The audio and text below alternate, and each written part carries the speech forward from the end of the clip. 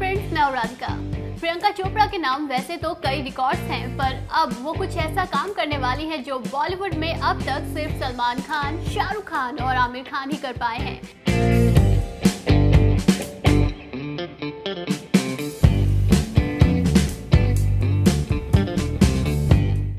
जी हाँ प्रियंका इन दिनों भारत के अलावा सोनाली बोस की फ़िल्म द स्काई पिंक में काम कर रही हैं। और ऐसी खबरें आ रही हैं कि पीसी इस फ़िल्म में बराबर का प्रॉफिट शेयर करेंगी। हालाँकि अभी तक इस बारे में कोई ऑफिशियल अनाउंसमेंट नहीं की गई है और ना ही प्रियंका की तरफ़ से कोई स्टेटमेंट आया है।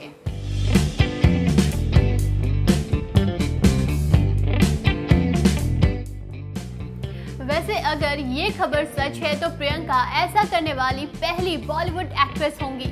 अभी तक फ़िल्म में प्रॉफिट का शेयर बॉलीवुड हीरोज ही लेते आए हैं।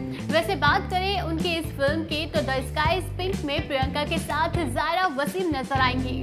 प्रियंका फ़िल्म में जायरा की माँ का किरदार निभाती नज़र आएँगी।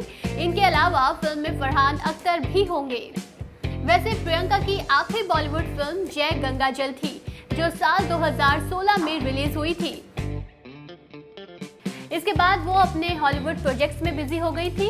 अब दो साल बाद बॉलीवुड में वापसी करने जा रही प्रियंका की ये फ़िल्म बॉक्स ऑफ़िस पर क्या धमाल मचाएगी, ये देखने वाली बात होगी।